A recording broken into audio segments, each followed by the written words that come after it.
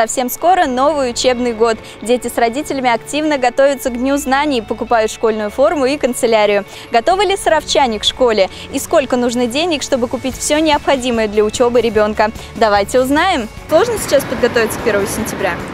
Несложно, но дорого. Несложно, но дороговато. Трудностей особо никаких нет. Проблемы с подбором размеров. И все. Сейчас ведь молодежь вся в ипотеках, кредитах. Но такая жизнь наступила. И, наверное, тяжело собрать ребенка. Но все равно радость, что ребенок идет в школу. Все дорогое детское это, все и дорогое. А сколько в среднем э, обойдется собрать полностью ребенка в школе? В среднем?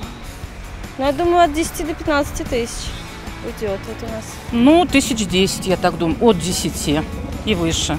Ну, я думаю, в тысяч пять-шесть можно собрать, это не считая там каких-то там супер-супер рюкзаков и супер-супер пеналов. Вот так в среднем 5-6, да. Школьная форма недешевая, учебники, тетради, не знаю, тысяч, наверное, 10-15.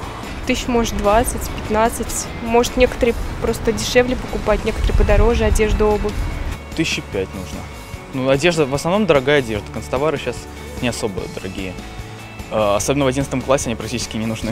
На чем можно сэкономить в подготовке к школе, а на чем лучше не экономить? Ну, вы знаете, вот э, я слышу новости о том, что после м, 1 сентября будет подешев... ну, удешевление канц- канцелярских товаров, потому что сейчас все все закупают, а вот спустя 1 сентября это все значительно становится дешевле. Не надо экономить, детям все лучше. В вещах можно сэкономить. Как-то по- побережнее их носить, что ли. До 1 сентября остаются считанные дни. Нам остается только пожелать терпения мальчишкам и девчонкам, а их родителям удачных и рациональных покупок.